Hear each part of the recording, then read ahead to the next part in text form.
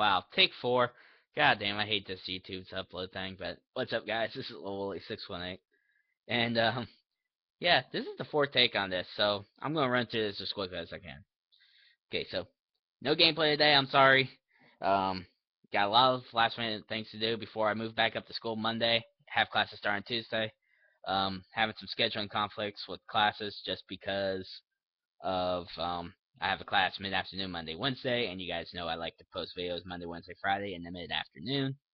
Um, can't really do the uploads then because I need this computer for class, and I don't think it's the professional way of doing things if I'm uploading in the middle of class. So I don't know what I'll do. Maybe I got room between the morning class and the afternoon class to upload videos, but um, that'll be something I'll have to work around over next week.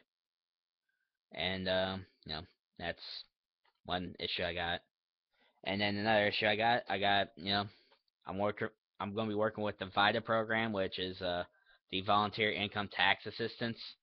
So I'm going to be doing people's tax forms and uh yeah, me doing tax forms, go figure. But but anyway, I'm going to be working on that. So and those are that that's like I think sessions are Tuesday night, Friday night, Saturday morning, and Saturday afternoon and I have to average for this semester. I have to average going to three out of those four sessions a week.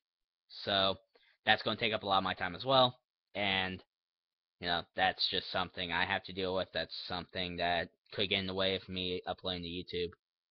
But I'm still going to be trying to upload to YouTube two to three times a week, even if that means I have to move videos around. Maybe I instead of uploading on Monday, upload Tuesday or Sunday. You know, I'll figure something out. Don't worry. You guys will still get your videos from here. Don't worry about that. But um, yeah, that's pretty much it. Just letting you know, there's gonna be some scheduling changes. And um, you know, I got a question for you guys. Um, how'd you guys find me?